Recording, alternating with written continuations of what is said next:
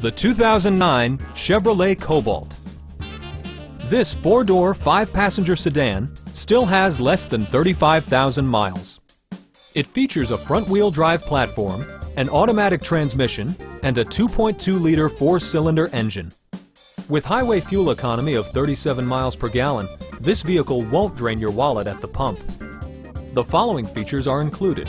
Front bucket seats, a split folding rear seat, tilt steering wheel, power door mirrors, power windows, remote keyless entry, and air conditioning.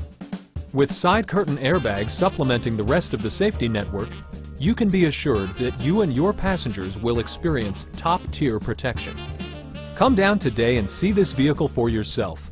Call now to schedule a test drive.